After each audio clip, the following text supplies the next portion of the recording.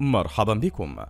شاهدنا الكثير من الحوادث في حياتنا المؤلمة والمفرحة وسيئة الحظ والمحظوظة. قابلنا أشخاصا اعتبرناهم محظوظين. نتيجة الحوادث الغريبة التي حدثت معها سواء كان هذا ما نسميه حظ أو قدر. فعلى سبيل المثال عثرت سيدة على لولة داخل محار قد اشترتها. في هذا الفيديو سنعرض لكم أكثر أشخاص محظوظين في العالم. ولكن قبل مشاهدة الفيديو ادعمونا بإعجاب لاستمرار هذه النوعية من الفيديوهات. أولا المرحاض الهاتف الجوال أصبح جزءا مهما في حياتنا اليومية. تركه من أيدينا ليس سهلا حتى أن كثيرا من الناس يستخدمونه في المراحيض. وقد يسقط من أيدينا في أي لحظة وتعتبر هذه من المواقف المرعبة. فصاحب هذا الأيفون كان محظوظ للغاية فعندما سقط منه اتزن في المرحاض ولم يسقط في الماء ولا بد أنه كان سعيد للغاية. ثانيا اخدش واربح. في عام 1999 في استراليا فاز سائق شاحنة في مسابقة اخدش واربح بسيارة أحدث موديل. تلقى الخبر وهو في المشفى وأعطى مكافأة للرجل الذي اشترى منه البطاقة. ثالثا شيتوس. هو نوع من الوجبات الخفيفة التي يحبها الكثيرون ويفضلون تناولها. واعتدنا في الأغلب أن نجد مفاجأة داخل الأكياس وأحيانا كثيرة لم نكن محظوظون بالقدر الكافي. ولكن هذا الرجل كان محظوظ حيث وجد قطعة طويلة جدا من الشيتوس وهذا أمر غير معتاد. رابعا الخاتم. فقدت هذه السيدة خاتم زواجها منذ 16 عام أثناء اعتنائها بحديقتها بحثت عنه كثيرا ولكنها لم تجدها.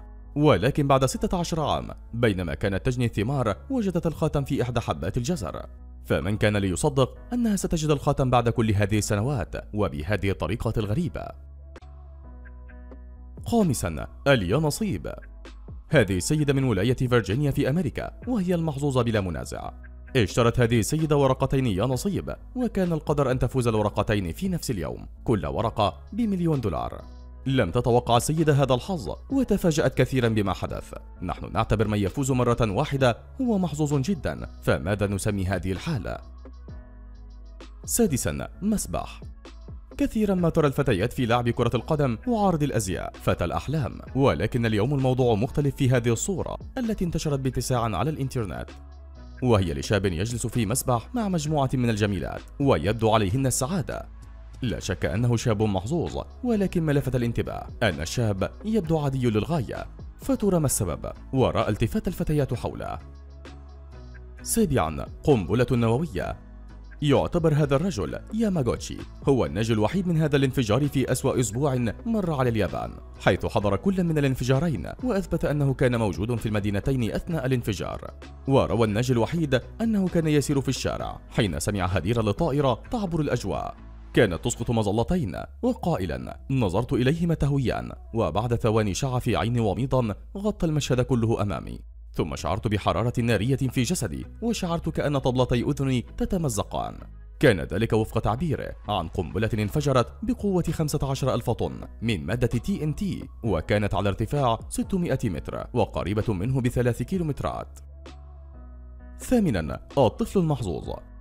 هذا الطفل استخدمته أحد مصانع لعب الأطفال لتجريب الألعاب وإعطاء رأيه فيها. فمن ضمن كل الأطفال في العالم كان هذا هو المحظوظ الذي استطاع الحصول على الألعاب وتجربتها وعبر الصغير عن سعادته بهذا الشيء. وصلنا لنهاية الفيديو وبرأيكم من هو الأكثر حظا؟ شكرا لكم لمتابعة الفيديو ولا تنسوا الإعجاب به والاشتراك بالقناة.